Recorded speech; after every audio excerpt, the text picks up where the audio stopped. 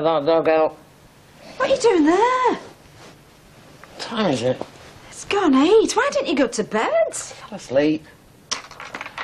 Oh, let's get some air in here.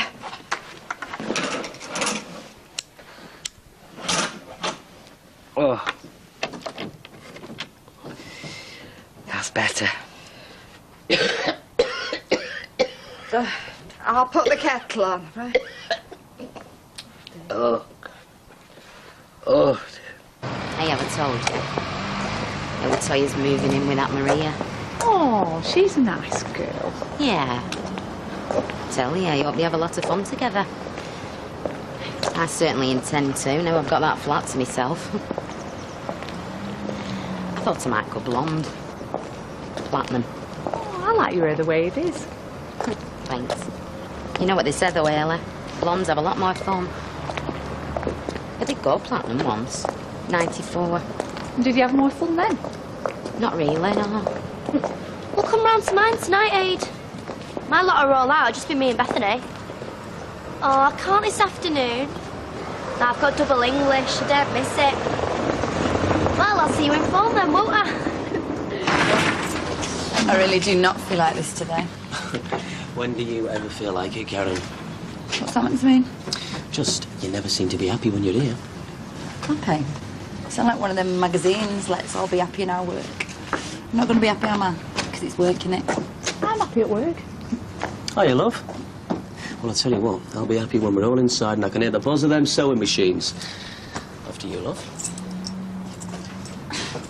It's only me. What are you doing here? I Forgot my cravat. Actually, that's not true. It's in my locker at work. I just wanted to say I'm sorry for rushing off last night. It's all right. What a terrible night. Maggie's little girl's teething. You can't imagine what the noise is like. She kept waking Ben up, and he was in with me, and he kept kicking me. Where is he? Maggie's looking after him. Oh, I see.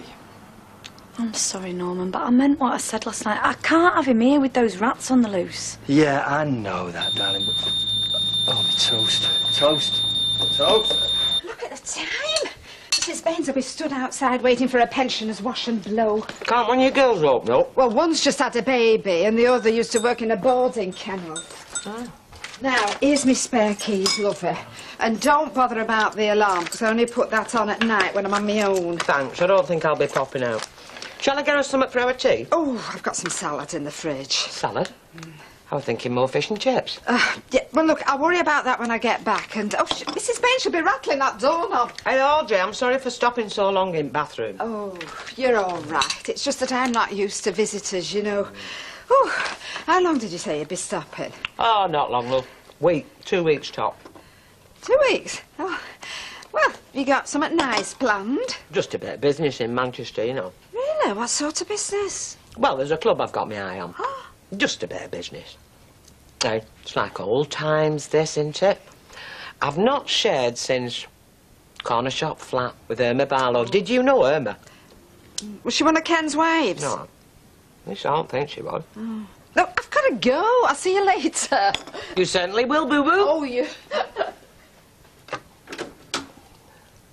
We've got to be united on this. Yeah. I mean it. Yeah, I've just said, yeah. With no cleaner, no landlady, a cellarman with a dodgy art, and now Betty's gone, no one to do the grub. It's just you, me, and a landlord who's more suited running a three-ring circus. Well, I'm nobody's clown. So what should we do? We do what all women do when they're not happy. You mean we nag him? Got it in one.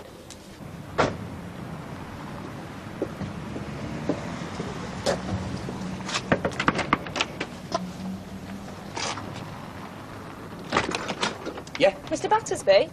Yeah? Yeah, Kath Harris, Environmental Services, Pest Control. Oh, yeah. I'm here about your rodent infestation.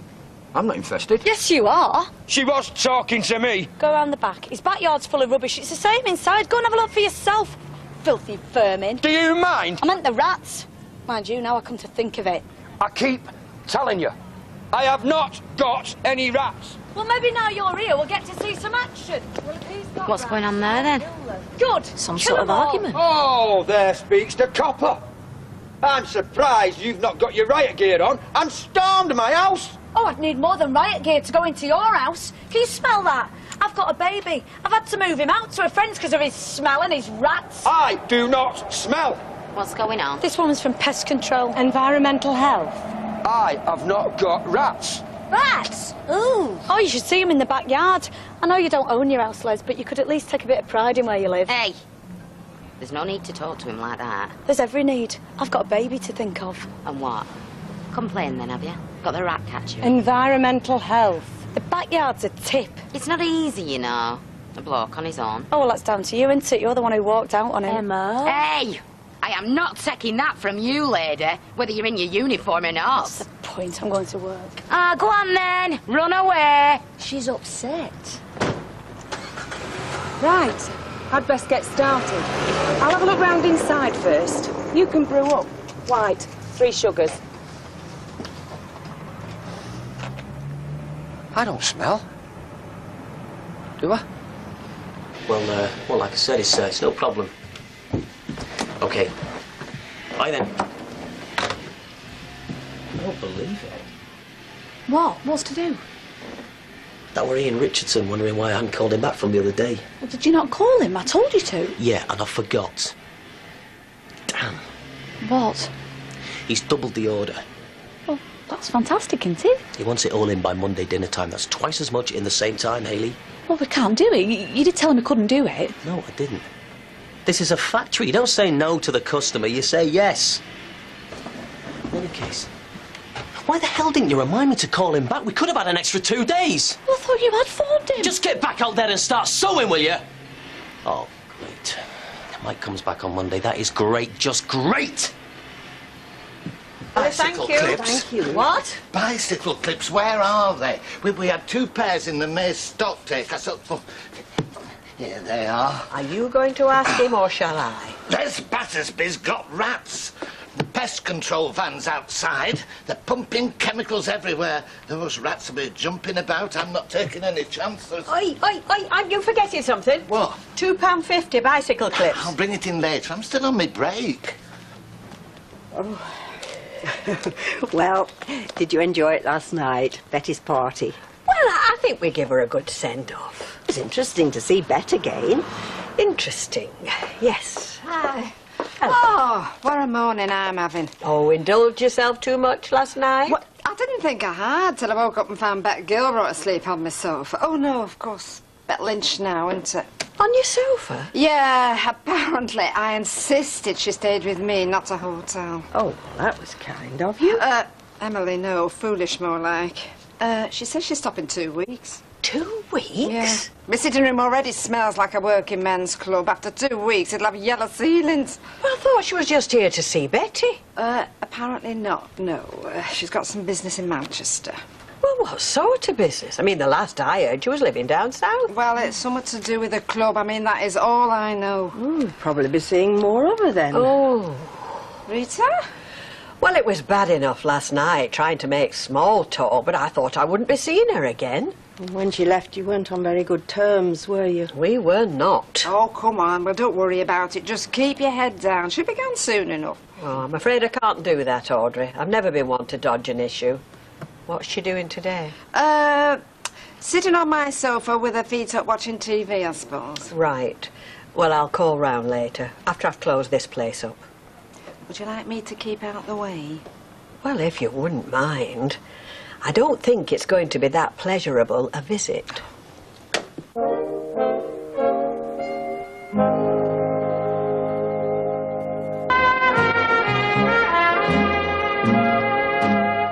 Hey, get a move on, will you? All right, well, rush out of it. No need to push.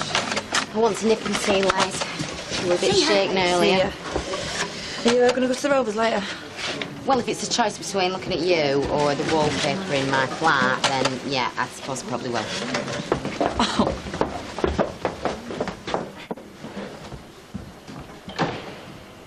I, uh, I wanted to apologise. Yeah. Yeah, I was out of order. I'm sorry. So, uh, are we still mates then? Go on then. I'm glad you said something. I hate atmospheres. Yeah, so do I. Although some people around here are keen to create them. Karen, she'll soon settle down, taking a notice. And don't worry about that order. I'll make sure there's no slacking. Thanks. Just doing my job. I'm really glad you've come. I said I would, didn't I? Has your mum gone? Yeah, they've all gone. Good. So, what do you want to do? I bought a video. Series 7, The Contenders. Have you seen it? No. It'll blow you away. Cool. So, do you want a drink? Have you got any orange juice? Yeah, but Richard's got some beers in the fridge. Don't think he'd notice if you had one. Don't touch the stuff. My dad drinks it.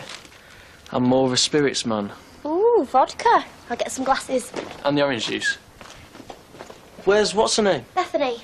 She's asleep. Then let the good times commence.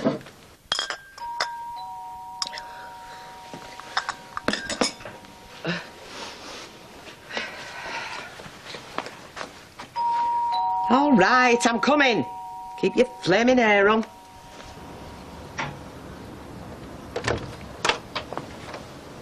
Rita, Audrey's not in. No, I know. Actually, I've come to see you. Well, you best come in then.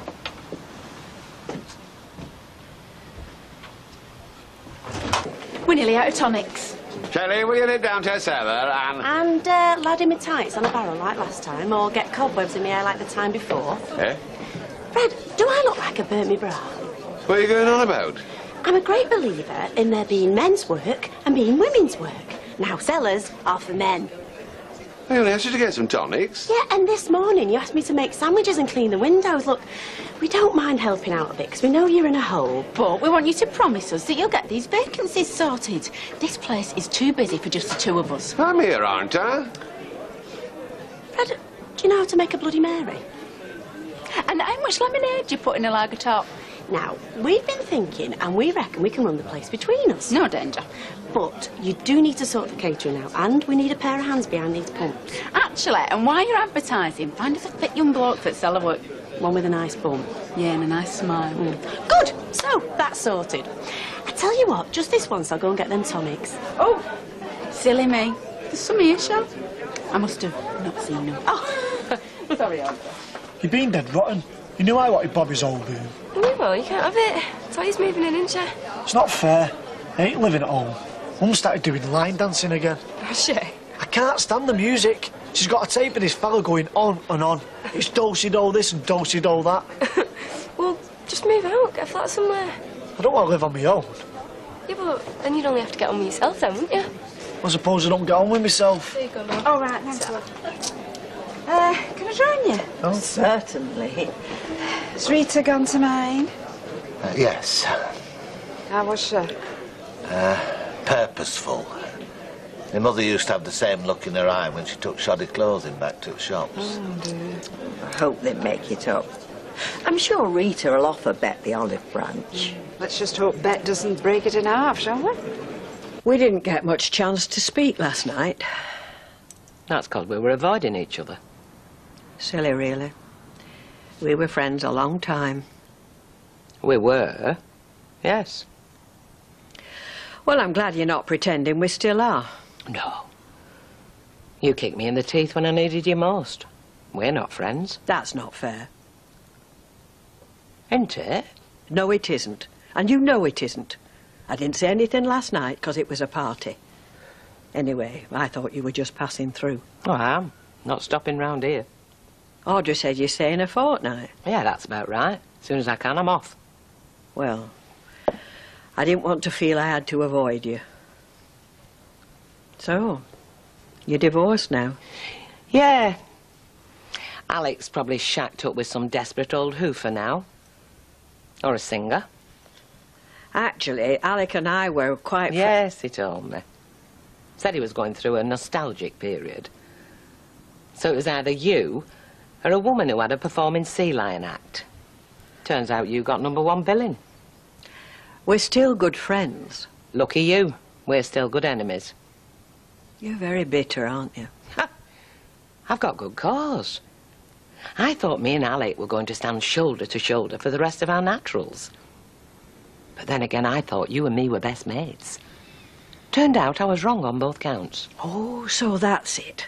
I refuse to spend my savings buying you a pub. Us a pub. A partnership. Remember? And not just any old pub. The Rovers. You knew how much that place meant to me. It was a lot of money. I wasn't sure we'd make a success of it. I would have done. I'd have made it pay. Is that what you've been doing these last seven years? Running a pub? Running a couple. Made a success of 'em and all. That's not a marble. Good. I'm pleased for you. Are you? Yeah, of course I am. I'm glad everything's going all right for you. You deserve it. Are you being funny? No. I mean it. You've been through a lot in your life, and now you're comfortable. Happy? Always smiling. Good. I'm glad. Next time I'll bring Blow. Johnny Depp. Wow. Oh, I liked him in um, Sleepy Hollow. Oh yeah. Cool hair. I had mine jet black after that for ages. I remember. Hey, who's this? Edward Scissorhands. Correct. Do you know what we should do? What? We should pierce your eyebrow. Really? Oh yeah. You look neoclassical. It would so go with your eyes. Your eyes are your best feature. You have to decorate them. Is that why you had yours pierced? It's more of a statement. So how about it? How about what? Your eyebrow. I could use a needle. And I could put my ring in it. I've got a spare one at home. Your ring? Yeah, okay. Hey, you! Councillor Busybody. What is it? Environmental health is just left. Oh, that's brilliant. And have they dealt with the problem? They reckon so. Oh, quick. Geena, have a pint for Leslie, please. Yeah. What's that for? For making my day, mate. It's fed up living at home, aren't you? Not still living with your mum, are you? Yeah. Well, you need to get out, get a place of your own. Either that or uh, check up with a girl with no sense. uh, no. I'm taken, love. I'm not. Don't worry, I'm only joking. You're not my type. Well, I like a bloke who could put up a fight. Got an idea, though. Why don't you have a chat to Les? You might find you could do each other a favour. What sort of favour? He's a bit down, isn't he? And he's got a room going empty. Oh, aye. Don't talk to him now, eh? Another time. Cheers. I will. Yeah, that's right.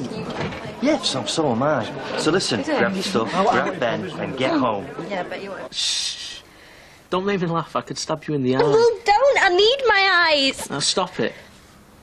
Are you ready? Is it gonna hurt? A bit, but it won't last long. You ready? Yeah. And hold very still. What are you doing? Mum! Who are you? Sarah, what are you doing? Uh, this is Aid. He's um a friend. We were just. Yeah, I can see what you were doing. Where's Bethany? She's upstairs. He was only gonna pierce my eyebrow. He was what? You made me bend it. You've been drinking. She's 15. So am I. Get out. Mum! I'll talk to you later. You! Get out of my house. Oh, we were only having a laugh. I said I'll talk to you later. When he's gone and you've sobered up. I'd best go. Tomorrow. Yeah. Good night, Mrs. Platt. Thank you for your hospitality. I'm surprised you've not ended up in a place like this. I can see you with a bay window. Still over at shop. I like it. Any aftershave on your dressing table? No. You? It was my birthday last month. Go on, have a guess how old. Oh, I couldn't. Go on. 65. 62. Oh. Anyway, it was on my birthday I decided to give up men. Not that that means much. I gave up smoking on New Year's Day. How long did you last? 15 seconds. I'd half a packet left. I was running them under the tap one at a time. I lit the third one up and that was that.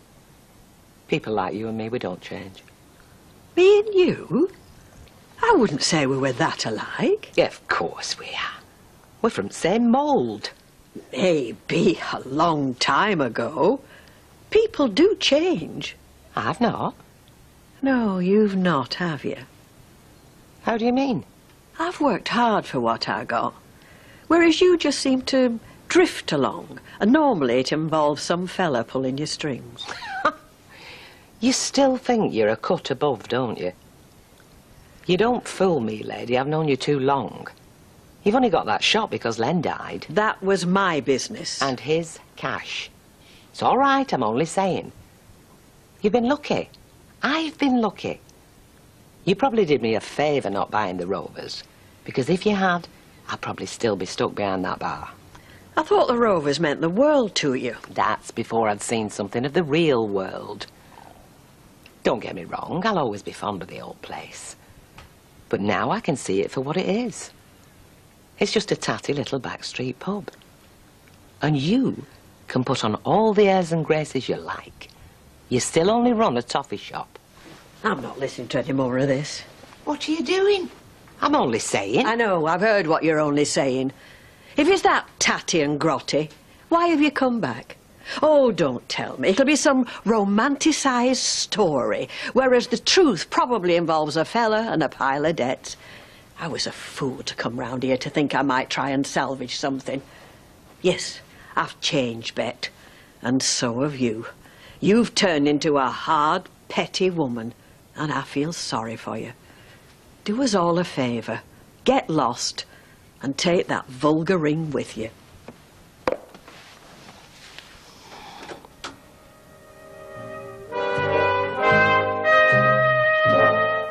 Have made it through the group stage. See how they played against Nigeria and how the Argies got knocked out. Plus, all the highlights from the day's games. World Cup 2002. Next. And following the football, we've new feature-length drama here on Carlton. Douglas Hodge stars in The Law at 9 o'clock.